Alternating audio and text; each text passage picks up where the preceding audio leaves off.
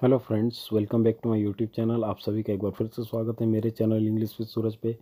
Friends, आज मैं लेकर आया हूँ आपके लिए सेंटेंसेस तो आप इन वाक्यों को देख सकते हैं। इन वाक्यों को इंग्लिश में कैसे बनाएँगे?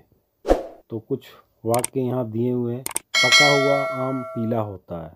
पका हुआ तरबूज लाल होता है। पका हुआ अनार लाल होता है। पका हुआ फल मीठा होता है। इंग्लिश में कैसे कहेंगे?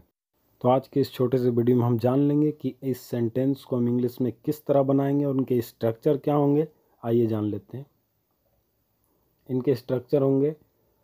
पहला होगा ये the right plus noun plus is plus adjective तो इस तरह के इनके स्ट्रक्चर होंगे। आइए अभी एग्जाम्पल्स के माध्यम से और बेहतर तरीके से हम समझ लेते हैं और जान लेते हैं। पका हुआ आम पीला होता है। इसे इंग्लिश में कैसे कहेंगे? आइए देखते हैं। देखिए, the ripe mango is yellow इसका हिंदी में मतलब होगा पका हुआ आम पीला होता है। अब जो हमारा दूसरा सेंटेंस है, पका हुआ तरबूज लाल होता है इसे हम इंग्लिश में कैसे कहेंगे? आइए देख लेते हैं। The ripe watermelon is red इसका मतलब पका हुआ तरबूज लाल होता है। ये तीसरा सेंटेंस है, पका हुआ अनार लाल होता है इसे इंग्लिश में हम किस तरह कहेंगे?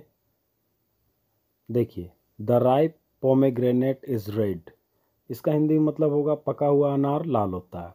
अब जो हमारा चौथा सेंटेंस है, पका हुआ फल मीठा होता है। इसे हम इंग्लिश में ऐसे कहेंगे the ripe fruit is sweet the ripe fruit is sweet इसे हम हिंदी में कहेंगे, पका हुआ फल मीठा होता है.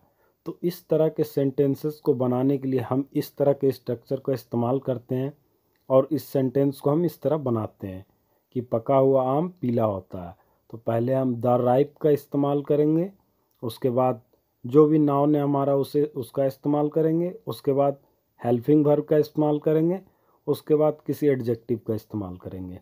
और ये पूरा का पूरा सेंटेंस इस स्ट्रक्चर में बनेगा।